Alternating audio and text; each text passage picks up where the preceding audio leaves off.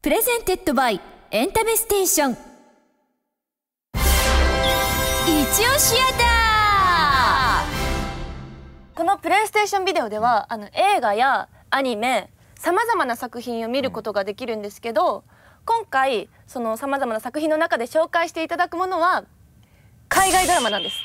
海外ドラマね。実はゲストのミッツさん。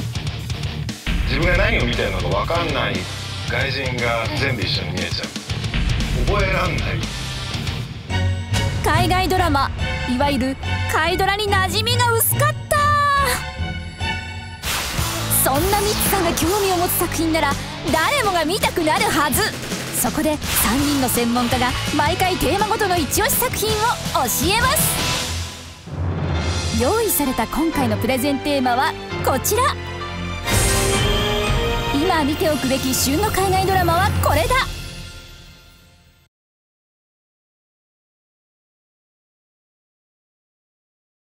第一話はすごい何何十億円かかってるかなっていう。へえ単純ないい話には落ちない。あそう。おしんを超えますか？こ私は超えてます。全員真っ黒です。渡るそ犬は鬼ばかりパターンですね